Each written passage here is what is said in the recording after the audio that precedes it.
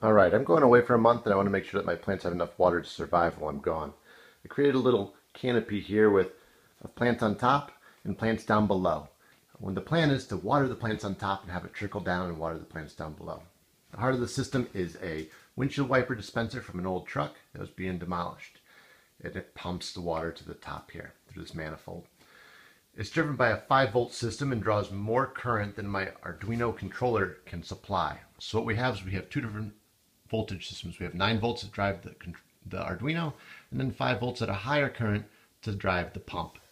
This is based off of a simple downloadable program that's on one second, off one second. I change it to be on for 50 seconds and off for 48 hours. The signal at 12 millivolts and 5, 12 milliamps and 5 volts comes through the solid state relay, basically a transistor, and allows to 5 volts at about 0.8 amps to pump water from here to the plants.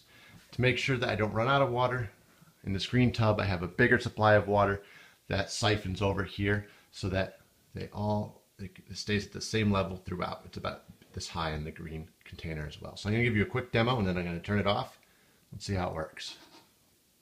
Okay, so the water is being pumped and you can see it coming out of the tube down at the bottom there and right there it's being fed into it and at the bottom there and at this one here and then a couple seconds later it begins to rain on the plants down here below. I've jockeyed them around to make sure that everything gets rained on just a little bit. I'm probably going to add a little bit of food to the top so that the uh, nutrients don't get leached out because they're getting way more water on the top tier at the canopy than they normally would um, if I were here. Let's see what happens.